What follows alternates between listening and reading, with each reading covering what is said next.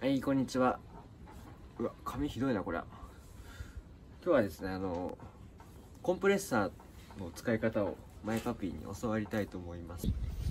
これがコンプレッサこれコンプレッサー。ーで電源がねそれうん。ここから線がこううん。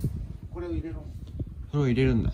入れてそれほらエンジンから来てるでしょそっちからコンプレッサーか。ら本当だ。よ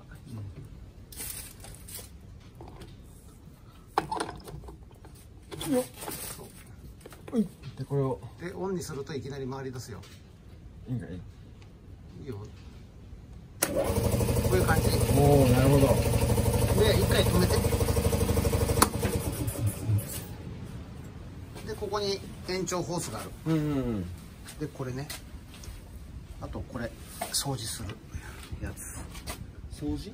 どういうふうに？ああ、先端にこうノズルを。ノズルにつけてね。ちょっとこっちやって。つけて。わかる外し方。センスで。違う。回してもダメ。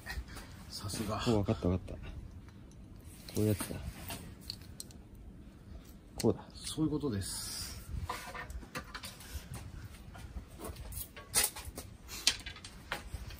わかんないな。これで締め？これで秋か？そう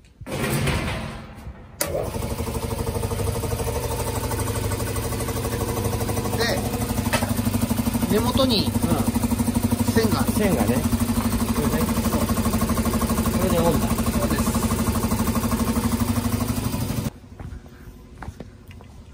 というのもね、昨日あのここ整備したんですけど、あの砂がね、ひどいんで、あれじゃマシンを傷つけちゃう。ラジコンの話なんですけどね、マシンを傷つけちゃうんで、この砂を、これで今、うん取っ払ってみましょう。こういうちょっと邪魔なのがいったので出して。よし。これでオンだな。おお。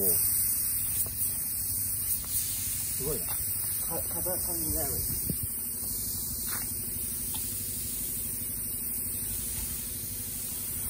ひどいな、これ。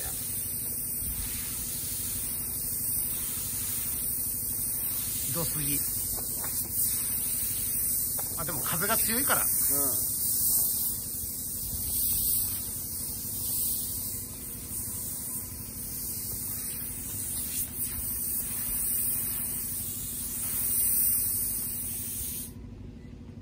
まあどうしてもひどいな。まあでもこれでだいぶ違うよ、はい、こんな感じで砂をなんとなくですけどね、取り除きました。ここをね、練習場としてこれからも練習動画みたいなのを上げていきます。